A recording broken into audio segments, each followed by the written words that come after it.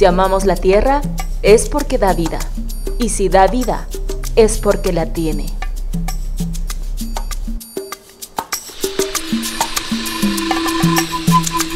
Tanto que la tierra sostiene plantas y animales. Cuanto más la cuidemos, más vida te dará. Aquí, en Pueblo Nuevo, Leoncio Prado.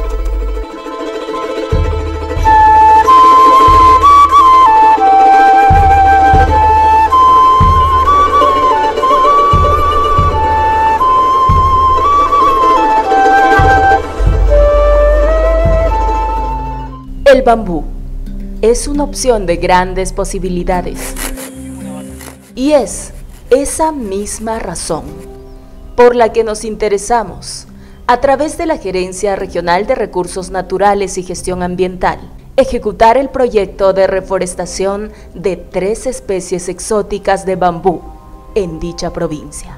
El mayor fin de estas plantaciones es propagar ¿no? Eh, estos tipos de especies para así eh, tratar de recuperar eh, los suelos degradados. Esta especie de bambú y las otras como el guadúa, este, perdón, este, el dendrocálamos, la bambusa vulgaris, son las especies que van a reemplazar a la madera vemos que se están exterminando las otras, estas especies quedan en su reemplazo. Y esto prácticamente pues la cosecha cada 7 años. Qué rentable, ¿no? Porque esperamos una caoba, por ejemplo, vamos a esperar 30, 40 años.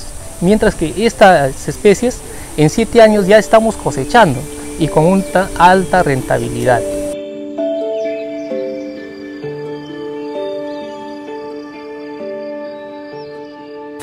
Ya, lo que es una reforestación sostenible eh, lo vamos a escenificar acá. Prácticamente este es, un ejemplo, ¿no? Un ejemplo claro. Por ejemplo, tenemos cañas de diferentes edades, de un año, dos años, tres años. Esto que vemos de acá son brotes que están emergiendo este año.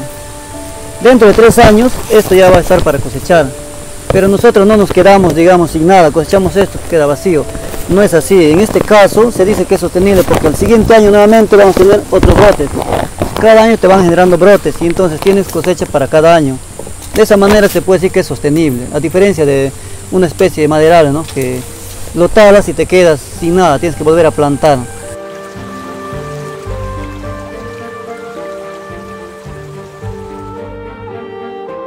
Probablemente hayas escuchado hablar del bambú, pero desconocías es la planta que crece más rápido que cualquier árbol maderable se puede usar como alimento, recuperación de carbono, recuperación de flora y fauna silvestre, y se le da buen uso como fibras textiles y para otros elementos.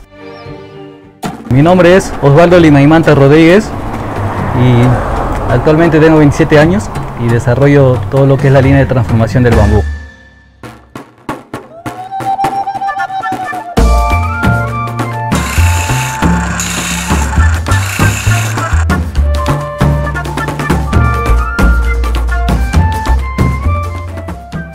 Con el bambú puedes comer, puedes vestir, puedes amueblearte, puedes hacer tu casa. Entonces, una gran infinidad de cosas que puedes hacer con esta maravillosa planta. Optemos por productos ecológicos, amigables con el medio ambiente y uno de ellos pues es el bambú, una alternativa muy buena ya que aquí en Tingo María tenemos mucho de, este, de estas especies.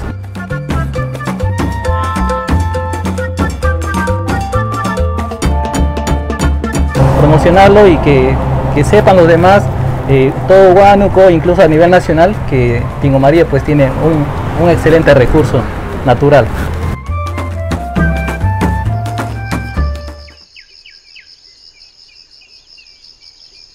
Con más de 4 millones de inversión, tenemos la misión de lograr la reforestación sostenible y con esta la conservación y la recuperación de áreas degradadas, ocasionadas por desastres naturales y la tala indiscriminada.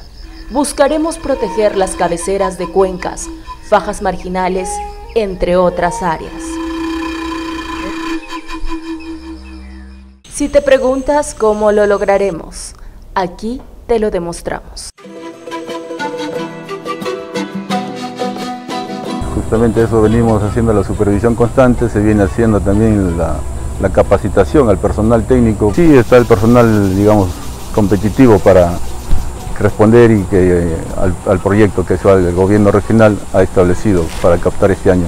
El proyecto contempla 500 hectáreas para este, 386 beneficiarios en los 19 caseríos que corresponde al distrito de Pueblo Nuevo.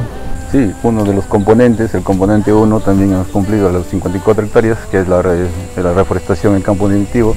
En el componente 5, que se está ejecutando también es la sensibilización en el tema forestal, y el, componente 6, que es el plan de manejo ambiental, que es la educación ambiental a los, a los niños, a los grados de primer grado, secundaria, segundo. Se ha hecho ya sensibilizaciones a la población, educación ambiental, el manejo, la conservación, de esos recursos forestales maderables y no maderables, que es la especie de bambú, de cómo conservar. Nosotros tenemos que conservar este recurso.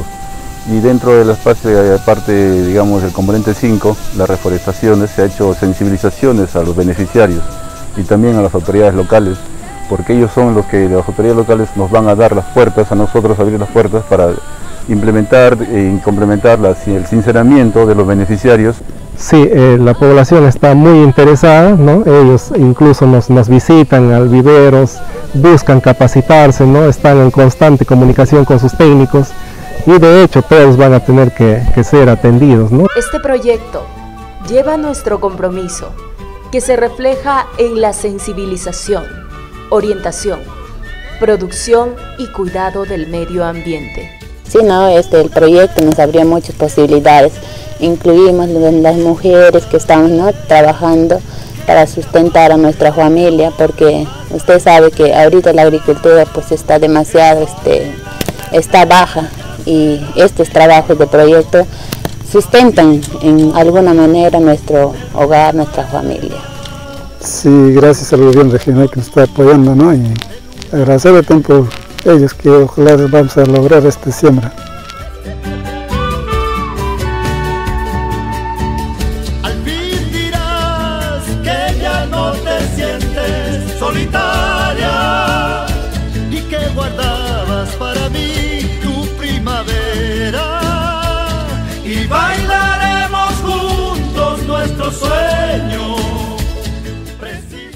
Así que ya sabes, cuidar de Nueva Esperanza en Pueblo Nuevo es cuidar tu reforestación. ¡Bambú! ¡Una alternativa sustentable!